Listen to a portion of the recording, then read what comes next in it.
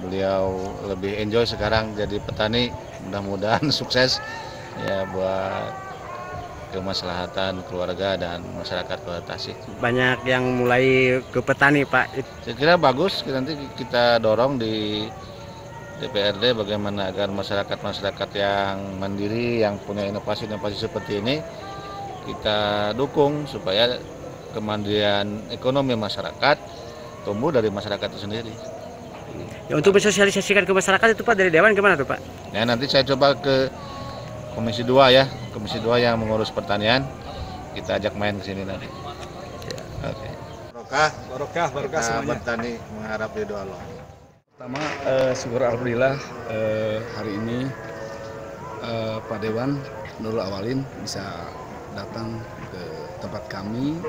Mudah-mudahan dengan kehadiran beliau ke tempat kami ini bisa eh, bisa ikut mensosialisasikan seperti apa yang disampaikan tadi sama Pak Nurul sama Pak Dewan tadi eh, untuk mensosialisasikan kepada masyarakat supaya masyarakat eh, lebih tertarik lagi terhadap apa kegiatan pertanian.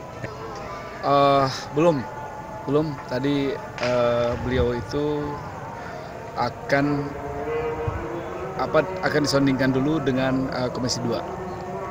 Harapannya ke depan ini akan lebih berkembang karena ini adalah miniat- miniatur. Uh, harapan ke depan saya harus uh, bahwa pengembangan pengembangan baik eh, anggur, pisang, atau mungkin ternak juga karena di belakang ada ternak, ternak eh, domba itu bisa eh, diperbesar, diperluas eh, sehingga eh, bisa berkembang, bisa lebih eh, berkembang dan bermanfaat bagi masyarakat luas.